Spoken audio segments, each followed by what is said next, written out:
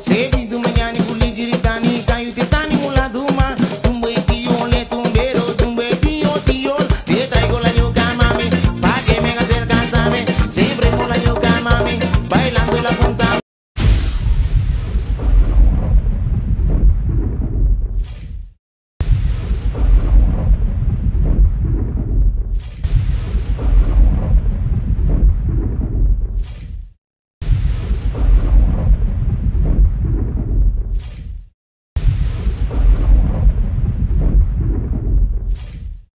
guys.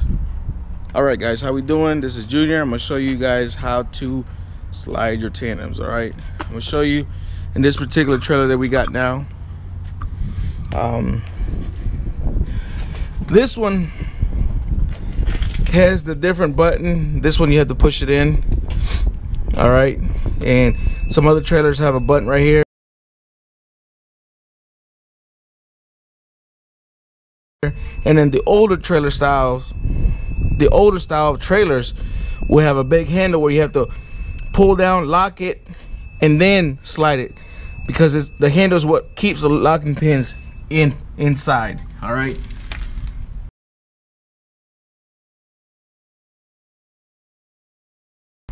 This one you have to push in.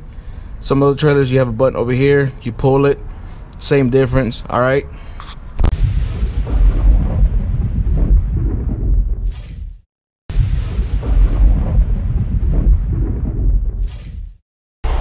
you want to make sure that you apply the trailer brake. All right so i have pulled the brakes on my trailer which means that i applied them. At this point again this one you push in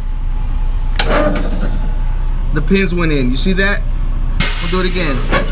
I just released it.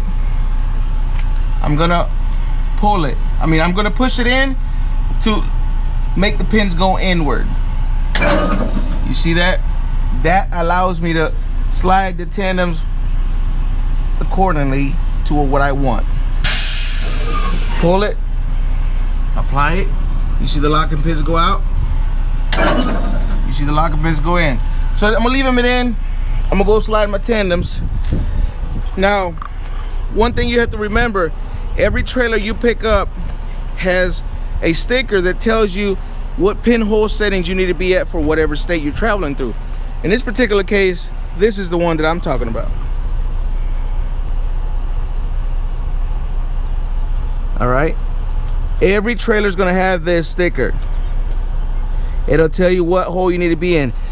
In this particular trailer, I know it says California ninth hole, but this one was designed different. So it's got a different pinhole settings. All right but any other trailer is going to have the regular hole setting. It'll say six for California. So once you pick the desired hole you want to be in after I release the pins to go in allows me to slide the tandems now I get back in the truck and slide the tandems all right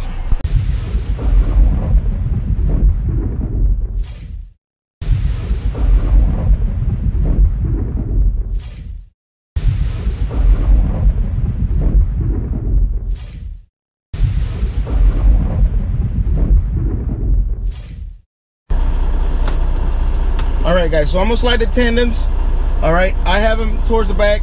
If you pull forward you open the gap between the fifth wheel and the tandems. If you reverse you close the gap between the fifth wheel and the tandems. So you pull forward open the gap you reverse you close the gap all right? And i'll show you that. So i keep the trailer applied release the truck I'm gonna put it in reverse so I'm gonna close the gap. All right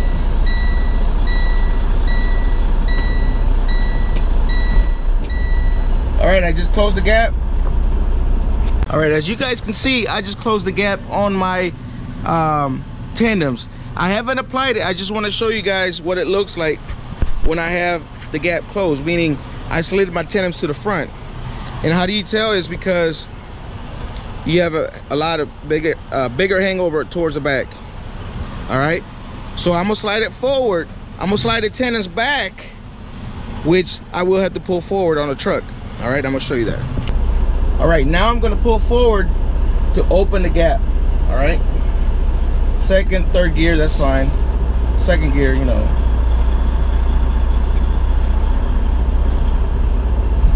You wanna pull forward slow and you wanna back up slow. The actual tandems will stop you, okay? All right, I just slid the tandems back. As you can see, there's a less hangover in the back. There's a bigger gap. So it means there's a bigger distance between the fifth wheel and the trailer tandems, all right? I haven't applied it yet. I haven't pushed the pins in because this is not where I want it.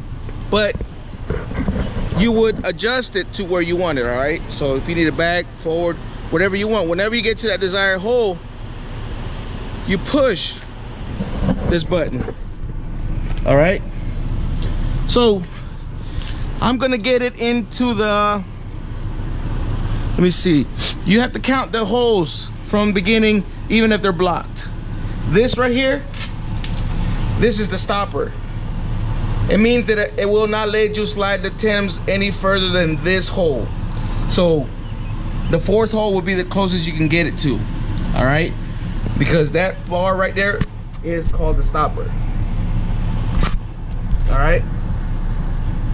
So right now you got 1, 2, 3, 4, 5, 6, 7, 8, 9, 10, 11, 12, 13. I'm gonna put it in the 13th hole. All right?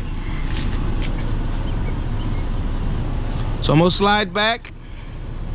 I'm gonna slide the tandems forward, which means I'm gonna reverse the truck, okay?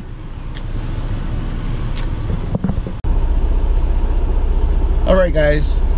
I showed you how to pull forward backwards to the desired hole. Right now, I'm gonna put it in the 13th hole, right? So I'm gonna release the truck because the tandems are all the way to the back now. I have to back up to close the gap, all right? So you have to guess. Whenever you're backing up, you have to guess, all right? So let's go back there and look.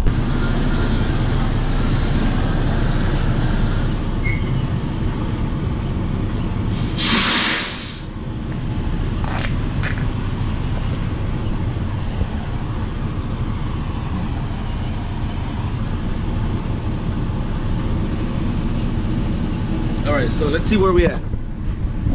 Uh, P1. okay. This is the 13th hole right here because it was marked. And we can see that the pins is right here. All right, so I need to go back a little bit further. And actually, what I can do is I can release the pins so they can come out. And all I will have to do is just slide back and it will lock into place. I don't have to get it perfect. Remember guys, you don't have to get it perfect, all right? Where you see it at right now, I could just release it, slide back, and it'll lock into the 13th, 13th hole. So I'm gonna show you the two options that you have to lock it in. The first option is you can step out yourself, come over here, release this. Push it in, we'll make the pins go out. All right, so you have two options. Remember, we already got it close to the 13th hole.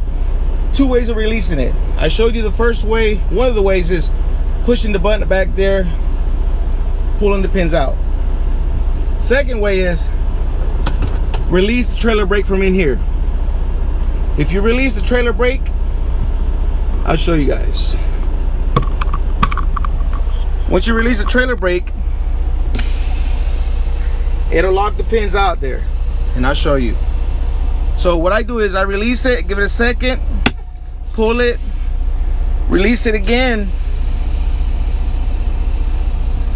and then pull it just to make sure that I got the pins out, all right? So after that is you wanna release the truck and if you remember guys, we just have to go back a little bit and it'll lock in on the 13th hole, all right? In this way, you don't have to walk all the way out there to lock it up. It's a lot easier to do it from the cab.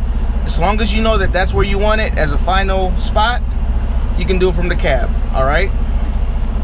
So we're gonna slide back. We just heard it. We'll go out there and look, all right? All right, as you can see, guys, we are on the 13th hole. The pins are out, as you can see. All right, so remember, this is where I wanted them. Everybody's gonna be different according to your load. You have to check the sticker on every trailer to see what state you're going through, to see what pinhole settings you need to be in. The two states that you have to worry about is Michigan and California. All right. California, you have to be six hole or under. Again, this trailer is different. It was designed a little different, so it's different. But the majority of the trailers that we have here, six hole or under. And then I believe Michigan is six hole and above. You can't be below the six hole in Michigan. So it's the opposite.